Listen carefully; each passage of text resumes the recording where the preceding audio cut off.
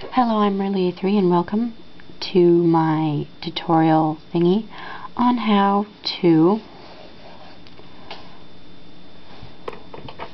open your layers dialog, which would be this. So you can edit your layers and such. Alright, go, if you have, I'm not sure what version of GIMP has it that you don't have to open a new layer to have all these options up but in my version it does. So open up a new image and up at the top you see you see a series of drop down menus. Go to dialogues and then click the dialogue you want or in my case the layers dialog. Or if you know the shortcut for your dialogue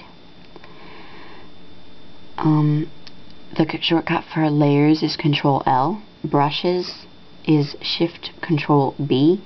Patterns is Shift Control P. Gradients is Control G and palette whatever they're called. Palettizer. Yeah. Palettes.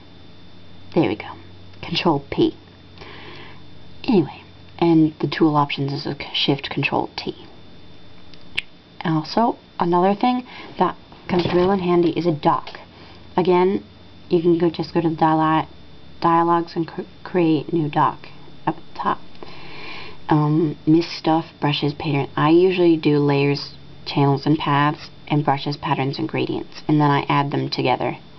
Ellen, could you bring the bag that's? And that's it. Hope this helped you all, especially you. Hey, it's Livy.